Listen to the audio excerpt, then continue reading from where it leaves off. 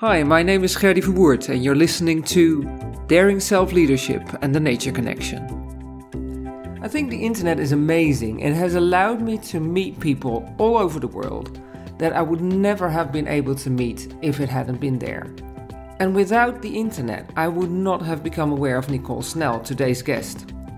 She first popped up in my Instagram timeline. And at the time, I was converting a video series on safely solo hiking among mountains into a podcast. Where I was focused on the technical aspects of safely hiking mountains and, frankly, any other natural environment, Nicole brought my, brought my attention to an aspect which I never truly considered.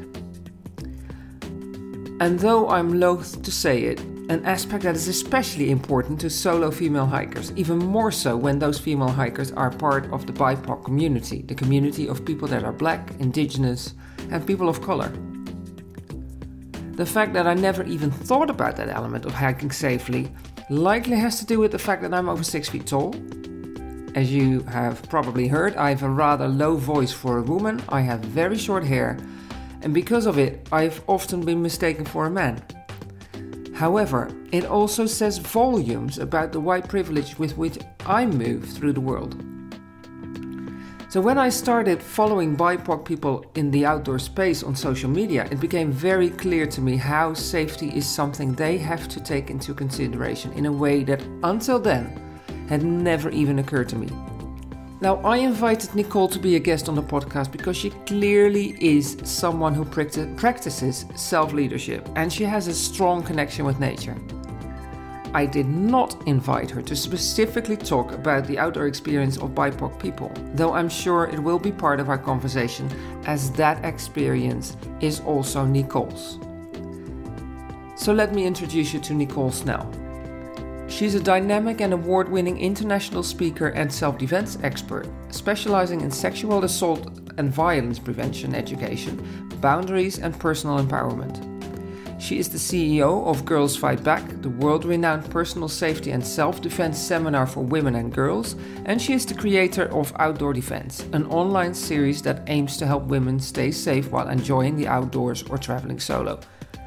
Nicole is also an avid solo traveler, outdoor enthusiast, and adventurer, having visited 26 countries on 6 continents to date, and is an adventure leader for Black Girls Trekking. She is an NACP credentialed advocate and sits on the board for Impact Personal Safety, in addition to being a lead instructor. She has traveled the world speaking to groups at colleges, K 12, corporations, the US military, and private events. She believes that everyone has the right to walk through the world feeling safe, powerful, and confident. So let's dive into my conversation with Nicole Snell. Nicole, welcome to the podcast. So happy you're here. Thank you so much for having me. I'm thrilled to be speaking with you. We've we met online, I think through LinkedIn at the beginning of the year. It's nice to finally be doing this. Yeah, yeah, I found you on LinkedIn, but I think I've been following you longer than that because I found somehow I found you on um, Instagram. I don't know why. Maybe because you tag hiking and I do hiking and I did a podcast or I was converting a video series on um, safely hiking mountains. And you do a lot around safety when hiking, among other other things. So, um, anyways, I've been following you. I've been, you know, sharing your videos with other people that are also hiking and are afraid of going into the mountains by themselves. So I thought, you know, I really want this lady to uh, to come on this podcast. So, and here you are. That's great.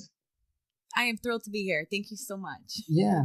So, when uh, you start, you're now very active in um, self defense and and um, with Girls Fight Back and with self defense training for women and and other genders and even men if they if they want to. Um, but you started out in the entertainment industry, and um, that is an entirely different um, field, I guess.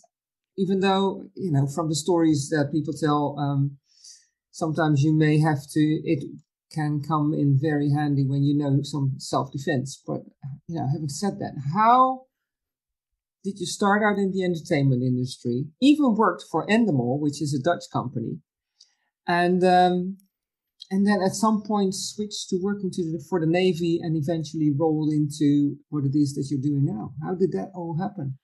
Oh, it's such a interesting story to share because the two industries are like night and day. But hmm. really, like you said, you know, self defense is helpful no matter what industry you're in. You know, the skills yeah. aren't just the physical skills. So yeah, there are definitely things that I learned in the industry or times when I had to assert myself or assert my boundaries that you know you use in the industry but basically i i got a i was valedictorian in my high school got a full scholarship to cal state long beach and as part of my uh, degree i wanted to do an internship in the entertainment industry.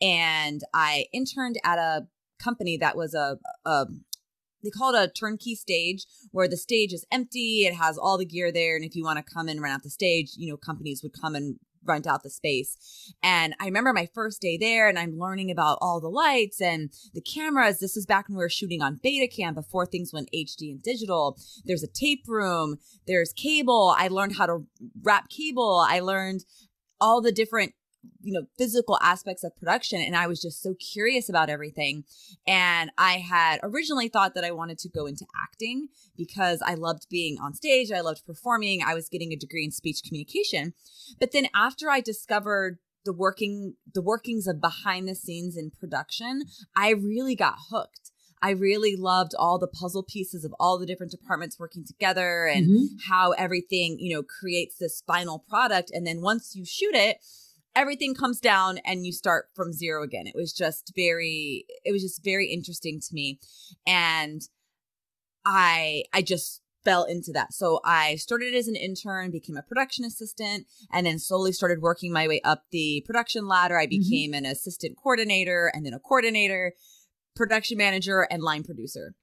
And then my final job in the industry when I was working at Endemol was the director of digital production for original digital content. Mm-hmm. And I thought that was where my track was going. You know, I had spent 12 years building it up. I worked with motorsports companies. I worked internationally, and did shoots abroad. I worked with commercial clip shows, you know, worked with small budgets, large budgets, lots of different crew, lots of different types of projects. I think I've produced 75 plus projects over the course of my career of all mm-hmm. varying budgets and sizes. And I really enjoyed the camaraderie of working with the people on my crew and the staff. But as I started, you know, growing into, you know, my position and and getting having more and more responsibility and doing more and mm-hmm. more in the industry, I just had this feeling like I wanted to do something more for women and I wanted to do something that was going to be rewarding and actually helping to change the world. You know, there are some projects out there that, you know, are very socially conscious and social yeah. justice mm-hmm. conscious.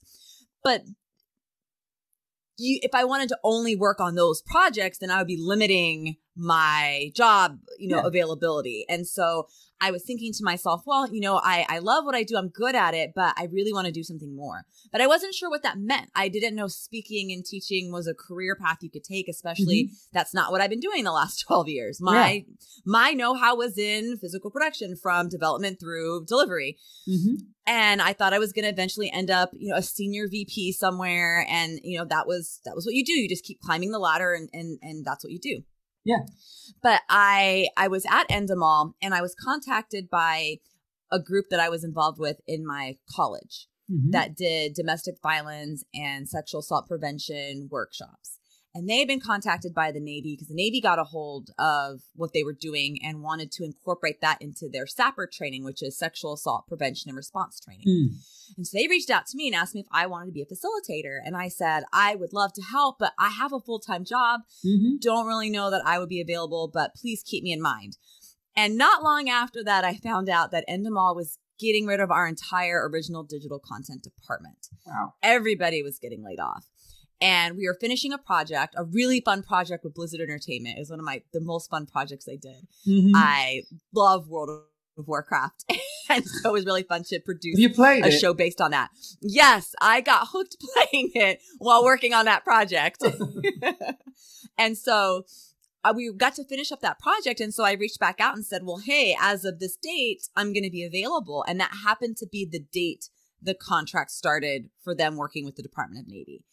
And I thought, well, you know what? This this is something that I'm mm-hmm. wanting to do. It's speaking. I'm going to be teaching and training individuals. You know, in the military, you're mostly teaching men because the armed forces are primarily yep. male, at least in the United States. And so I was like, great, we're going to get information out to to everybody that needs to hear this. And I'm going to be doing this rewarding work that I wanted to do. Hmm. And so I was like, well, you know, I'll try it out and see. I wasn't sure how financially stable I was going to be doing this brand new thing. yeah. And I thought, well, I'll do it for a year and see what happens. Well, the group the way I got connected through Girls Fight Back is they worked with the group. The owner of the company had an agency that was working with this with the group and helping them with the contracting part of it.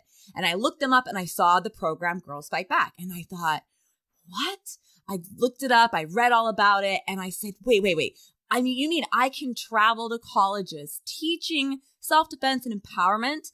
And I love to travel. I've always loved travel. It's one of my favorite parts of working in TV production and taking personal trips. So I thought, wow, I get to travel and I get to teach people yeah. and have this this piece of me that I knew was missing, this being able to empower women. It was right there in front of me. So I, being the go-getter that I am, I emailed the owner and asked for a job and said, I really want to work with you. I don't know what that entails, but how can I do this? Mm-hmm. And they didn't have a job opening right away, but three months later they did. And so I got trained. And so at the time, I was doing work with the Navy, traveling with the group. We traveled uh, domestically and abroad to U.S. military installations. I've been to over 90 U.S. military installations worldwide mm. and doing this type of training. And so I was doing that as well as doing college events domestically. Yeah. And then I wanted, I, I really felt like I needed to do more on the self defense side. Like I really wanted to to do more work with Girls Fight Back. And so I started doing that. So I slowly stopped working um, as much with the company that was doing the military trainings and I got more into doing more trainings with Girls Fight Back and figuring out how we could expand. We had already expanded to all genders, but I really wanted to expand from the college market, which is where we were primarily doing our teachings, mm-hmm. and take it wider, take it to corporate audiences, take it to the travel industry, take it to all different types of people and organizations that need this type of empowerment training, learning to use your voice, learning how to navigate uncomfortable situations with coworkers and mm. how to feel confident doing things solo or managing yourself. And then I continued to work with Girls Fight Back. And then last year, the owner was selling and I decided to buy it. Congratulations. Thank you. That must have been a really exciting and scary step to take. Oh, talk about scary. we, you know, we we're planning this this, you know, this purchase. We mm-hmm. started talking about it in before the pandemic. So like mm-hmm. January, yeah. February. And then March hits and that's when we're finalizing everything and that's when the pandemic hits. Yeah everything we've done to this point, the company was live. We didn't do anything virtually. And so I was really scared because I thought, well, what am I going to do? Like, I definitely know that this is the right move because I feel like I would be the right person to carry this company forward since mm-hmm. I've been mm-hmm. involved for seven years. And I really believe in our mission. And I wanted to keep the memory of Shannon McNamara alive. And she's the woman the company was founded for. Mm. And I've just figured I'm going to do this and I'm going to figure it out. I'm going to figure out how to make everything virtual. I'm going to figure out how to reach people because I think this education is important even during a pandemic, if not more important, because yeah. you're dealing with a lot of heightened emotions and people were doing a lot more things solo who had never done that before because of social distancing and not being able to go out with people. And so, yeah, I just, I just figured out I was just going to work hard and keep, keep doing what I knew was right, which was trying to empower other people and mm-hmm. just hope everything would work out. So and far, so far, be, so far it seems to be working out okay. now that is some story, but there's um, um, a key moments in your life, really. Either you reached out to somebody like you did with um, Girls Fight Back, or um, you know, the Endemol decides to just you know dissolve an entire department uh, at a moment when you're thinking about what is it that I um, that I want to do with the rest of my life. Do I want to continue on this career path, or do I, you know, dare to step onto a different trail? And um, even you know, it must have been challenging and, and scary again. You know, it, it may have felt right, but at the same time scary because I'm assuming, you know, at Endemol, at the position you were in, you were making good salary, which was good probably. Salary. And a lot of, you know, a lot of uh, other benefits. And then there's um, my own office. Yeah. It was great. yeah, t- international travel, da da da. Yeah. And then you step into Girls Fight Back and probably take a huge salary cut. Yeah, it's definitely uh, it's definitely a cut. but mm-hmm. I am so much happier now. I am so much more fulfilled and rewarded with the work that I'm doing and mm-hmm. that's nothing that money can buy. Money can't buy that that peace of mind, that feeling of every morning waking up and loving what I'm doing and mm-hmm. knowing that I'm helping people, even people I've never met, people who've only ever watched my videos or communicate with me online, telling me about how my my posts or my video or something I taught them or they attended mm. a virtual class, how it's helped them in their lives and now they feel comfortable taking a solo hike or going on a solo trip. That is priceless. Yeah. And I am, like I said, just the, the joy that I have in the work that I do. Not to say that I didn't like working in production, but let's be honest, it's stressful. There's a lot of stress yeah. involved. There's a lot yeah. of 16 hour days and seven day weeks. Yeah, and, deadlines and budgets. Yeah. And, uh, and budgets are always tight because it's it sounds like project management, which is what I used to do. And, you know, there's always a tight budget. There's always too uh, little time and there's yes. always a client or somebody who wants go- uh, we used to say golden taps when they have budgeted for brass, maybe? Yes. Someone wants a helicopter, and I'm saying, you know, we can't afford a helicopter, but I can get you a drone. or, you know, hey, the last minute we want to shoot in this really expensive location. And I'm like, okay, let's think about what else we can do because yeah. we don't have the time to apply for this permit and we don't have the money for it. Yeah. And I mean, I gotta say, I've been I've been work I worked on some really fun projects and had mm-hmm. some really fun asks that I was really proud I was able to do. I got asked to provide a zebra for a shoot and found the zebra, but then the location told us, What are you thinking? No, you cannot bring a zebra here. Producers didn't think about that. They were just like, Hey, Nicole, we need the zebra. And I was like, mm-hmm. Okay, so I got you a zebra. Mm-hmm. I had to get a chimpanzee for a shoot too. Also, also got it and we were two what a day before two days before flying to germany for a shoot at the nürburgring mm-hmm. and the producer decided they wanted to add a helicopter shoot and it's two days before we already had a permit and i'm thinking okay well i have to get on the phone with the local production company and see where you know where we can get a helicopter where it's going to land where it's going to fuel make sure we can get a gyro like all the things that you need to get for those things i had to just pull it together you know it's you just have to do it you're just you're rolling with it. You have to be so flexible with it, mm. which can yeah. be really fun. Yeah. So, and that reminds me, what is it? So you were in that world, that that whole entertainment world for how long?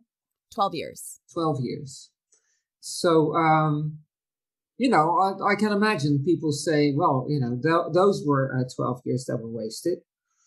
Uh, you know, so I agree because I spent like 17 plus 20 years in project management in some way, shape, or form. And um, before, you know, I made my career move and started doing something that I love, which pays a lot less, but is a lot more fun. Uh, so I recognize what you're saying about uh, your career shift. And I found that to my surprise, I, the things that I learned in project management it's amazing how many things I still use, not at the same level and not in the same way, but I, you know, the stress, resi- uh, stress resilience and, um, stress management and, you know, budgeting if you, when you have to, those kinds of things. So useful. What about you? Oh, yes, everything that I learned in those 12 years prepared me to be a business owner today. I wouldn't have been ready otherwise. Mm. I one of my first jobs in production after, you know, graduating from being a yeah. production assistant. Uh, and this is, you know, I should share this part too because this is a, this is about daring. Mm-hmm. There was a job that I was applying for and it was to be a production manager at this company that was also overseeing the books. And at that point in my life, I was still, you know, I was a couple years out of college. I didn't, a few years out of college and I didn't have any accounting experience. Mm. You know, I had done some, you know, uh, line producing type of, you know, budget on a through movie magic budgeting, but not through like accounting software, like tracking expenses in yeah. more of a bookkeeping way. Mm. And so, but everything else about the job I knew I could do. And I applied for the job and I wrote in my cover letter, look, I understand you're looking for someone who has XYZ experience that I don't have, but I'm willing to learn. I will take a class. Mm-hmm. I, I, fit every other box yeah. you need. Mm-hmm. I didn't get called back for two weeks. And so I kept looking and I looked at the job site and the ad was still there. And so I thought, oh, well, they're still looking for somebody. I'm going to try again. So I resubmitted mm-hmm. with the same thing. Hey, you might have overlooked me. I really would just love to have an interview. It turns out they didn't even get my first email. It had been buried under everything else they had gotten. It got lost in some way. They didn't even get it. Mm. So it's a good thing I reached out again. And then I got this job. Yeah. And then the person who was leaving trained me in the accounting. I learned, I zoomed right up to I was hired as a production manager, zoomed right up to a line producer on the first shoot because they needed someone to do it. And I said, I can do this. Mm. And then just started, you know, working on, you know, projects that were, you know, half a million dollars and up within yeah. like the first the first couple projects working at this company. But learning that, learning the accounting, learning budgeting, learning project management, learning time management, learning mm. how to negotiate with vendors and with crew understanding how you know pieces fit together, talking yeah. to insurance agents, dealing you know t- contracts, dealing with lawyers and and legal forms, all those mm. things. I did all of that. So now that I have my own company, I understand what's needed. I yeah. know how to negotiate. I feel confident stepping into spaces where maybe I'm the only woman or mm-hmm. I'm dealing with, you know, mostly men and and those who might try to talk over me. I am very confident in speaking up and saying, "No, I need this and this breakdown. Here's what I need," and stepping away and finding someone else to help me if if they're not giving me what I need. Yeah. And all of my experience led me to be able to do this. I still use some of the forms. like I'll be like, oh yeah, this I'm yeah. gonna use this calendar form or I'm gonna use this form. I know. And, yeah. And I shoot my own series, outdoor defense. So mm. all my experience, I've being on set and working with crew members. And then I've done some indie projects where I've done audio engineering. I did audio engineering when I was working with the military too, because we brought our own sound setup mm-hmm. and understanding cameras and the things that you need I mean, now I produce my own series and I know what I need. I know, taught myself how to edit. All of those things fit together and apply yeah. to what I'm doing today. Exactly, exactly. So it's. It, I just wanted to highlight that because so many people listening and you know might be saying you know are around that time in their career or maybe just at an age where they're like you know is this what i want to do for the rest of my life for the rest of my professional life are there things that i want do differently, or maybe I want to do something entirely different, but and then there's reasons why they they think they can't. And some of sometimes those reasons are, you know, I studied really hard, I have this degree, and that would be a complete waste of time, energy, and money if I now would throw that degree, you know, out of the window and start doing, I don't know, under underwater basket weaving or something like that. Where do I sign up for that? I know. It's an example that I've heard at some point, and I'm like, okay, you know, that's really out there. but just as an example, and and I'm like you, I'm like I have I I benefit so much from the fact that I have 20 years of project management and interim management under my belt, and like you, I still use um, you know, people think I'm incredibly organized, but I'm only organized because I was raised, grew up in a project management organization where you had to be organized because if something happened to me, somebody else needed to be able to step in and pick up where I left off. And I took that whole system with me, that, that way of thinking, that way of organizing my files, and still there. Uh, in the ski school where I work in wintertime, I, uh, I'm responsible, or I used to be in the old ski school responsible for you know, uh, divvying up the kids that were coming to get instructions over the different um, groups. And, you know, on a Sunday morning, the first day of ski instruction, something like 100 kids with um, 200 parents and sometimes 150 grandparents, you know, are storming towards you and want to know which group they will be. And people were, people around me were like, this is so stressful. And I was like, no, it's not. It's, you know, it's like an hour for, uh, on one day. What are we talking about? So those kinds of things is you're trained to do that and you bring that experience with you to whatever it is that you want to do next. So it's not a waste. Yeah, I agree with you. The organization, yes, I grew up. I am very organized. In production, you have to be. You yeah. absolutely have to be. And I have friends that also run businesses or are working for other businesses and they look at what how I'm organizing everything, my file structure mm. on my hard drive where I keep things so I can find yeah. my what I need they say, wow, like this is more organized than you probably even need to be. But I like to be able to easily find my files. I like to be able to, if someone needs something, to have it. I have, you know, backups of backups so that, yes. you know, I yeah. always want to have my my paperwork in order. Like in production, you needed that. Like one mess up, like you don't have that one insurance writer, and yeah. now you're messed up. Or oh, you didn't file the permit, and the fire marshal comes and wants to see your permit at your location. Like that yeah. could lose thousands of dollars in a day if you mess up something. So mm-hmm. it's very much organized and meticulous. And now, like, I'm responsible for every aspect of the company, you know, CEO, chief everything officer for now. Mm-hmm. and so, you know, I have to make sure that everything is is taken care of because yeah. there's no one else that's going to do it for me. Exactly. Exactly. So let's change track a little bit.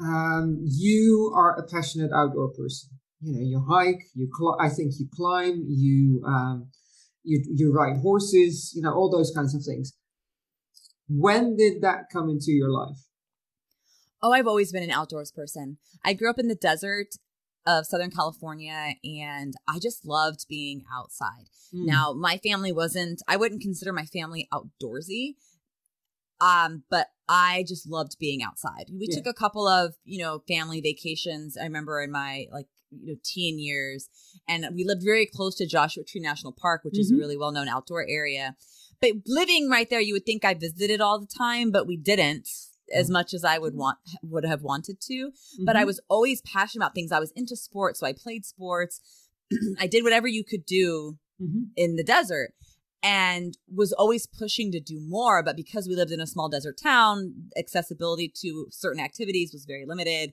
my family wasn't always very supportive of me wanting to do these other things. Mm. And so I did what I could. And the moment I got my scholarship and got out of that town and went to college, mm-hmm. oh, I was all about it. I was all about trying to do as much as I could. Again, you know, money was an issue, right? I was a poor college student, just like mm-hmm. most of us are. Mm-hmm. Like I mm-hmm. had a full scholarship to school, but that covers school. What about everything yeah. else you need? Mm. So I got a job right when I got to college and worked through college, two jobs plus an internship when I got up into my later years. Mm-hmm. And just did what I could. I, I would go horseback riding in Griffith Park because I loved horses growing up, but didn't get to ride horses growing up because we didn't have a horse. I think I spent like three months with a friend who had a horse and her mom gave me mm-hmm. lessons mm-hmm. and taught me how to how to tack and you know all yeah. that groom and stuff and gave me some riding lessons. But I started doing more of that and doing more hiking. And then when I work, started working in production, we would travel. Mm-hmm. Well, then I got to travel and I would do things when we were already there. Oh, we're going to Miami. Great. I'm going to drive down to Key Largo or yeah, Key yeah. Largo and yeah. swim with mm-hmm. dolphins. Mm-hmm. Oh, we're going to go here. Great. I'm going to do a stop off here. And I started expanding my trips coming out a day earlier, leaving a day late or taking time off when we had you know a, a off day to do mm-hmm. these things yeah I, you just i always was so passionate about just trying new activities and growing up, I didn't get to. So when I became an adult, nothing could stop me. Like you just can't stop me. I had people telling me, "Oh, when, girls don't do that. Women don't do that. Black people don't do that." Mm-hmm. And I would just look at them and say, "It doesn't matter to me what you think I should do. I mm-hmm. want to do this. This is something that brings me joy. You're not going to stop me. Yeah. Like don't project your insecurities or your fears or your stereotypes onto me." Mm-hmm. because I'm still going to do whatever I want to do. I'm mm. going to go ride horses and skydive and scuba dive and climb. That's and right. You scuba dive as well. Parasail and you know and, and whatever else. Yeah. You know, snowboard, you ice skate, you name it. Like mm. I'm going to do the things that I want to do. If it, mm. if it sounds interesting and fun, I'm going to do it. Just this this last year for my birthday, I jet skied from Catalina. Uh, I'm sorry, I jet skied from Long Beach to mm-hmm. Catalina Island, mm-hmm. which is 26 miles across open ocean. I oh didn't even God. think I didn't even know that was a thing you could do. I looked it up because I was looking for an adventure to do on my birthday that was something I'd never done. Mm-hmm. I found this and I called it my best friend. I'm like, hey, so you want to do this thing with me? And she said, sure. Because it was my birthday. I wanted to share it with somebody. Mm-hmm. I would have just done it by myself, but I was like, yeah. it's my birthday. I want to spend it with a friend. Yeah. And then we jump. We did cliff diving. I wouldn't really call it cliff. Di- we were jumping off some rocks. We got to snorkel. We swam through a cave and came back. So mm. I just find adventurous things, anything that's that seems fun, yeah. that blows my hair back. I'm a little bit of an adrenaline junkie. I am just down to try just it at least bit. once. Mm-hmm. Yeah. yeah. so so you you go into this uh, the, the, the self defense and the um, sexual assault prevention things.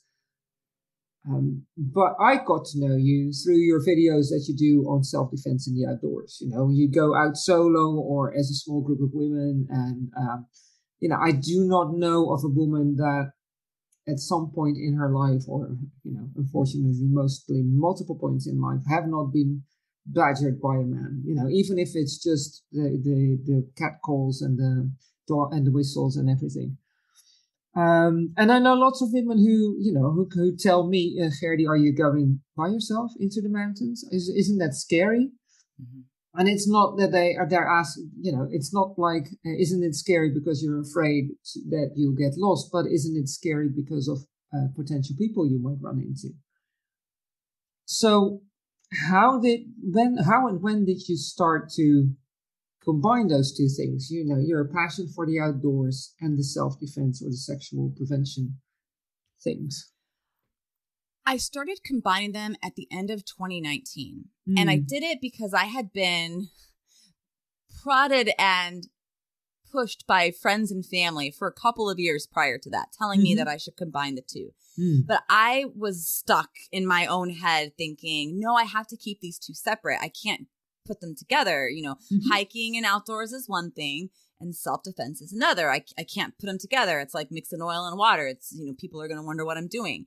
And so I was really resistant to putting it together. I thought I needed to, I thought I was doing a better job of just keeping them separate. Mm-hmm. And at the end of 2019 or mid, mid to end of 2019, I had a friend who kind of just gave me the last motivational kick in the butt that I needed to just start out what is now outdoor defense. Mm-hmm. She's like, you just need to do this because people are, you know, people are would love to watch it and women are concerned not just women people of all genders yeah. have concerns about being solo and just put them together and just make videos and i you know i thought okay all right fine i'll just you're right i'll just start i didn't even know what i was going to talk about it i just went to a trail brought a little tripod with my camera mm, and that was the yeah. first episode of outdoor defense and then it's just grown and it hit a nerve that i didn't think I was going to connect with people in that way. Mm-hmm. But it really resonated with people. And I now I'm thinking, gosh, why didn't I start this sooner? But, you know, all things in time. Yeah. You know, sometimes there is a time for everything. And uh, apparently you were not ready to start doing it earlier. So, yeah. So, what is um, the biggest feedback you get on those videos or on those trainings? Because you don't just do the videos, you also do them live. I've seen you do them with uh, with other people. Yeah. So I so most of the videos I do by myself. Sometimes mm-hmm. I have my colleagues from Impact Personal Safety. I, I also work for that company as a lead instructor and a board yeah. member. So sometimes they will come and we'll do a, a, live demonstration with someone in a padded suit, a co-instructor in a padded suit. Yes. Mm-hmm. And I sometimes have had a friend, like I had if my friend Erica came with her dog, so we could talk about self-defense if you have your dog with you. And the most feedback that I get is people people thanking me, people telling me that it has helped them feel more confident, that it has helped them feel more capable in being able to go out and do a solo hike, or mm. it just opened their eyes to something they didn't even consider and help them feel more powerful. And yeah. that's the best feedback anybody could give me. Yeah. Yeah, because that's one of the reasons I wanted to talk to you because you know I told you I did um, a video series about safely hiking mountains, and it never even occurred to me to think about the safety aspect, that aspect of safety. Is you know, and I said in the introduction, I'm six foot one. I think if if I calculated that correctly, I have short hair. I have a rather low voice for a woman. You know, and eh, now, not so much because my weight seems to have decided that it needs to sit on my hips. so, but I used to have what I called Miss Twiggy hips. So, you know, I didn't get bothered a whole lot because, eh, you know, I was often mistaken for a man. And also, I just go through the world assuming that nobody's going to bother me. And that helps, I think, when you have that uh, basic attitude. But yeah, you know, I should have thought of it because lots of people are like, you know, how about that? How about that aspect of going solo into nature? And let's be fair, you know, it's not just, I feel more unsafe when I'm in an urban environment than when I'm in nature, to be totally yeah. honest. Same. I think it, it has to do with comfort. Part of it's the comfort level of folks that maybe haven't gone out in nature very much. And there's a lot of fear and a lot of myth out there in the world that yeah. assumes that, oh, if you go outdoors, that suddenly now you're going to be more at risk than you were in an urban environment or a city yeah. environment. And and the underlying message is that once you're out there by yourself, there's nothing you can do if something happens. And mm. that's a lie. Yeah. Because you are more than capable of being able to protect yourself. The idea that, well, now nobody can come and help you. Well, you don't need anyone to come and help you. No. You're more than capable of being able to help and protect and defend yourself if you need to. Yeah. And the fact is that 86% of the time, at least in the US, 86% mm-hmm. percent mm hmm of the time, women are assaulted by someone they know. It's that the means, same all over, I think. Yeah, yeah, that means your home environment is statistically less safe for you if we're talking about domestic violence and intimate yeah. partner abuse, you know, gender-based violence, than going out and potentially running into, you know, a stranger on the trail or, you know, the hiking partner that you're with that you're, oh, I'm not solo, but you know, that is something that yeah. it's it's something that you need to consider that it's not necessarily always a stranger. It could be someone you know. And that's why I teach things that apply not just to strangers, but it talks mm. about setting boundaries of people you know too. And yeah. that's not to say everyone we meet has, you know, bad intentions. That's not what no. I'm saying at all. No. But the idea that we should only be fearful of strangers out in the wilderness and not have that same awareness when we are in a city environment dealing with a coworker or a family member or a friend. Mm. It's it just means we need to use our senses no matter where we are and understand that we have options. Yeah.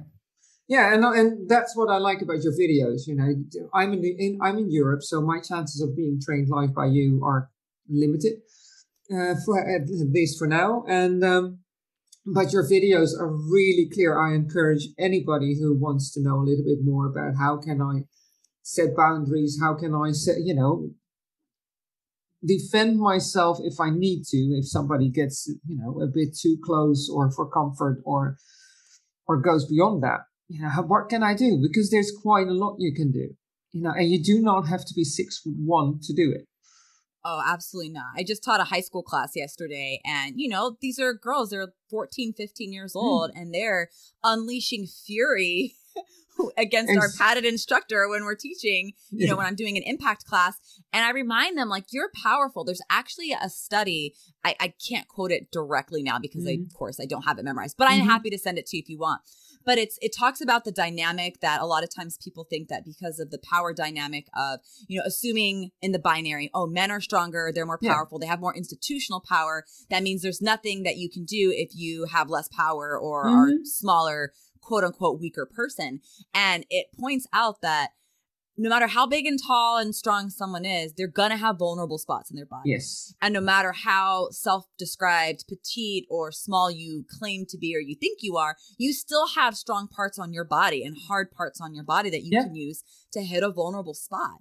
Exactly. We are not helpless. So I'm trying to just change that, change that narrative and mm. and remind people we're not helpless. Remind people that we have options and that we don't have to limit our life. And Exactly. oh don't go you know people say oh don't go hiking solo because it's not safe. I'm never going to tell someone don't do something. I'm going to say use your awareness. I'm going to go out solo but say i run into someone or a situation where i think to myself hmm this isn't great. I might turn around and go home i might make that decision Yeah. but that's making a decision based on the situation not just completely deciding i'm not going to do these things Yeah. because Assuming that something may or may not happen. right Yeah. you know and full disclosure i am a survivor of Mm-hmm. violence and abuse and Mhm. it i'm in that 86% statistic it was Yeah. happened at home with people i knew you know so what was what were the don'ts i was supposed to follow to keep myself safe you know Yeah. what i well i wasn't out drinking i was too young i wasn't what i was wearing i wasn't out late i wasn't with a stranger i wasn't by myself like all the things i say oh don't don't do this don't do this it's Yeah. like those don'ts only serve to limit our life and take away our control of, of what we can do the options we do have we're never responsible for preventing violence from happening against us and we're never to blame for something that happens Mhm. but i don't think offering these don'ts is something that's very empowering so instead i want to help people open their world by giving them education Yeah. Yeah. Well, I'm sorry that happened for you, but and at the same time, look at the power that you now exude. You know, just the way you talk and the way you move. People can't see that, but you know, I can, and I'm telling you guys, she's you, you exude confidence, which is you know beautiful to see, but also in your videos. Because every now and again, I'm like, oh, when something, when somebody comes up to me on the trail and I don't really trust it, or they are coming too close and I have to do this, you know, take up the stance and put my hands in front of me and yell no. You know, there's this little bit of, um, I'm going to look silly when I do that.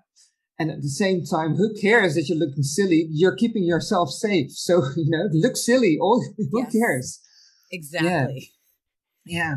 So another thing you do, which I find incredibly, um, uh, you know, it's interesting, but also incredibly important, is Black Girls Trekking. And Yes. um, and you know, I'm from Europe, and Europe is an incredibly wide space. The Alps are an incredibly wide space. Um, the outdoor industry, like the American outdoor industry, is an incredibly wide space.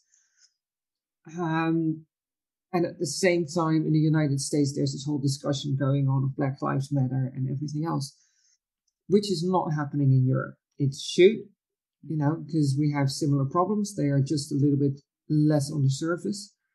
Um, and there's this whole history of Black people. You know, you said it yourself a couple of minutes ago. Uh, even Black people probably say this to one another. Uh, you know, we don't go into the outdoors. We don't do these kinds of things. Mhm. So, how did you get into Black Girls Trekking, and why is it important? I had been following Tiffany, who's one of the co founders on Instagram, and she told me this was back in 2017. She messaged me and said she was starting a group, a hiking group for Black women, and asked if Mm. I'd like to join and go on hikes if they did. And I said, yes, absolutely. I had mostly been hiking solo, or sometimes I'd hike with a friend if they were around, but you know, I. I like to go hiking solo because then I don't have to wait on anyone's schedule. And I also like the meditativeness of Yeah. just being solo in the outdoors. And I had hiked with other groups that weren't black, you know, weren't Mhm. primarily black women. They were primarily white women. I didn't have any bad experiences with those groups. They were all lovely. But at the same time, I'm walking into that space as a black woman, understanding that I am one of the only, if not the only, Yeah. one of One only of the a few, few, black women. yeah. Hmm. Yeah, so it's like people don't maybe necessarily try to other you, but you're already in a space in which you are othered. And it was exciting to think of, oh my goodness, I'm gonna be able to hike with other black women. And so I I started with the group as a member. I was asked to become an adventure leader, and now I'm an adventure leader.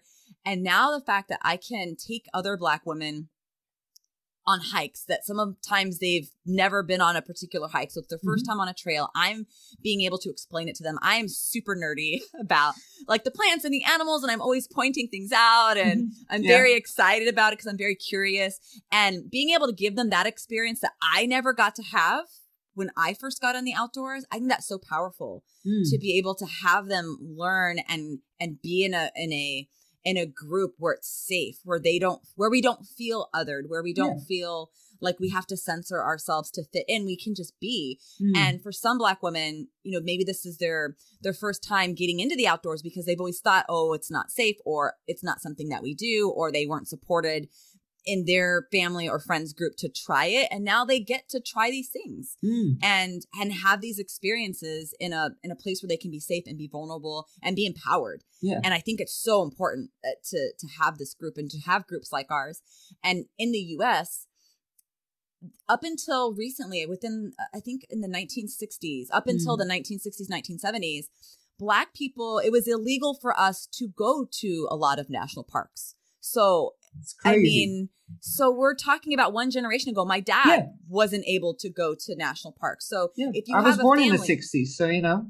yeah. So this this idea of of I mean, people say, well, why do you need groups like this? Well, because we were forbidden from accessing outdoor spaces for Hmm. hundreds of years Yeah. which is why the outdoor space is very white because they were the only people who were Yeah. actually allowed access and you know, it became part of you know family traditions well our families didn't get to have those traditions we weren't allowed to go into those spaces Yeah. so and- now we're trying to to show that we not only belong but we are here and we're going to Yeah. take up space and we're going to keep being here Yeah, and there, there's was another aspect that I can't remember who said it, but I heard it on a podcast, and um, uh, I think it was a black guy. If I uh, can I say it like that, that's also something you know. Which words can you use? But a black guy was talking about hiking and about the outdoor space and why black people, perhaps even especially black men, didn't go, didn't like to go into forests. It was like. um back in those days, you know, back in the time of segregation and uh, just after slavery, the forests were places where people of color, you know, got killed, lynched, and all other terrible things. So that Yeah. so it was a space that you were taught to avoid instead of look up and enter into to just you know, um, what do you call that for leisure. Yeah. So it's, that that whole history is also in there. yeah Yeah. it's like when when black people were enslaved our connection to the land and to nature was severed with it you know we're taken Yeah. away from our home country to a country we don't know and you know that and nature is so healing and is so good for your mental health and it's good Mhm. for your physical health and I want to encourage more Black people, more BIPOC individuals Yeah. to get outside and to connect, reconnect with nature, find that healing, that that space where you can exist and see the beauty that's out there and understand that nature doesn't care what you look like. It's not Absolutely the nature not. that we are worried about when we go in the outdoors. We understand that. We're worried about the people or potentially animals. Mm. but, you know, nature eh, the the rocks the trees the mountains the snow like it it, it that those are not the gatekeepers No. so when we can try to change the narrative and and change it so people understand that nature shouldn't be something that we of we prevent certain people from accessing or make Mhm. certain people feel uncomfortable accessing or Yeah. you know make a big deal about oh my gosh i've never seen someone who looks like you out here. You know what? That's not that's not helpful. Just let's just let's just acknowledge each other like you normally do hiking. Hey how you doing? Good. All right great. Yeah. and just keep going. It doesn't need to be a big deal. Oh my god i've never seen another black person out here. Uh, that's that's not helpful no, no, it's it's not like it's not like a carnival. It's it's Yes. just somebody enjoying the outdoors, just like you and I are enjoying the outdoors. exactly Yeah. I don't want to, you know, I want to be conscious of uh, the the time we spend to, with each other. Um, so this is going to be a weird jump, but I'm going to make it anyways. I always ask my client, my clients, my guests, um, three questions, and they are: What is a favorite book of yours with nature as a main character? What is a favorite movie with nature as a main uh, main character? And what is a favorite? What is it that I asked? Book, a movie, a music, piece of music. And I always give people the time to think about this because if I just drop it on them, you know, if somebody were to drop it on me, I would have stuttered because when I thought, started thinking about my own answers to these questions, I was like, oh, these are not as easy as I thought they are. So you've had time to think about it and you told me you've got answers. So I'm sitting here with my pen at the ready. what Yes. are those answers? I did my research. I did my research. All right, so picking a favorite book was hard, Okay. but I picked The Sixth Extinction by James Rollins. The sixth And- dis- distinction? Extinction. Oh, the sixth. Okay. The Sixth Extinction by James Rollins. And I I read it a while ago, so I can't tell you the exact details of the book, but I just Mhm. know it was about nature, the connection with, you know, nature, plants and animals. There's an Mhm. extinction event happening and the characters are trying to figure out, you know, what's going on and and how it all fits together. And I love mystery kind of sci-fi Yeah. like suspense adventure books, so it was perfect and nature was a main character. I'm going to look it up because I, I like those same kinds of books. great. My favorite piece of music, that's hard, but I picked one Okay. and it's by a uh, Hawaiian singer named uh, Israel Kamakawiwo'ole and it's Oh. his song White Sandy Beach. Oh, I can find the song probably because I would never, never be able to just write his name. White Sandy Beach. White Sandy Beach of Hawaii, I think is what the, the whole name is. hmm So, what about that song makes it a favorite of yours? it's just beautiful. He has a beautiful voice and he's talking about, you know, his homeland and the nature and the connection that he has to the ocean and to the sand and how it speaks to his soul and he's very soulful as he's singing it. cool. It's beautiful. Cool. And the movie. Um okay. I would say my favorite nature movie is Wings of Life by Disney and it's narrated by Meryl Streep Okay. and it's a look at how pollinators and flowers it's a love story between them and it talks about how the pollinators are really the ones in charge of making sure life on this planet happens so it talks Hmm. about the bees and the hummingbirds and bats and moths and other insects that are responsible for pollinating flowers and the connection between the flowers and the pollinators wow. it's beautiful It sounds beautiful, and I love a good nature movie. So um, that's one that's going on my list. So cool. So I have one final question uh, for you, and now this is one I'm going to drop on you. Um, what is one thing listeners can do that you would give them? Um, and it's you know it can be something easy, but what is one thing that they can do to, in your case, I'm going to say safely connect with nature? Um, you know, maybe on a daily basis, basis even, but just something easy. say one thing you can do to connect with nature is just go outside your apartment, your house, wherever you're living, just go outside. And if you're in an urban environment, you might have to walk to like a nearby park, or maybe there, Mhm. maybe your neighbor has a garden, or maybe there's a beautiful tree like somewhere. Yeah. Just find some piece of nature that you can connect with. Take a moment, close your eyes, and just take a deep breath and let it out. And just breathe that fresh air and just allow yourself to be for a moment. Yeah. Good one. Good one. Where can people find you? And especially, where can people find the outdoor uh, defense uh, videos? Just on Instagram, or do you have them uh, anywhere else as well? I have them on Instagram and on YouTube. So I have a YouTube Oh, okay. channel. They can subscribe to my YouTube channel. I have a playlist just for outdoor defense episodes. Season three comes out next year. Mm-hmm. I'm really excited. But there's 44 episodes out right now. 44 Okay. different ones you can Links watch now. will be on the in the show notes, as to say. Mhm. yes. Yeah. And then I'm also on Instagram. My handle is Adventures of NIK. And I also have my company's Instagram, which is Girls Fight Back. Mhm. And my website is NicoleSnell.com. You can find everything on there links to girlsfightback.com and links to outdoor defense, my videos. I have a solo travel video for sale there, information, articles, pretty much everything that you would need. you can find it on NicoleSnell.com. But I would love to hear from y'all and follow me on social media and reach Yeah. out if you have questions. Great, Nicole. Thank you so much. You're so welcome. Thank you for having me a guest, Gerdy. Yay! Well done. Thank you. You've been listening to Daring Self Leadership and the Nature Connection. You can find the show notes for this episode and every other one on the podcast page on the Dare Greatly Coaching website. The podcast is available wherever you like to listen and it's hosted by me, Gerdy Verwoerd. The music is Butt Bursting by Poddington Bear. Thank you for being with me today. I hope you'll join me again for the next episode. And in the meantime, as always, go dare greatly.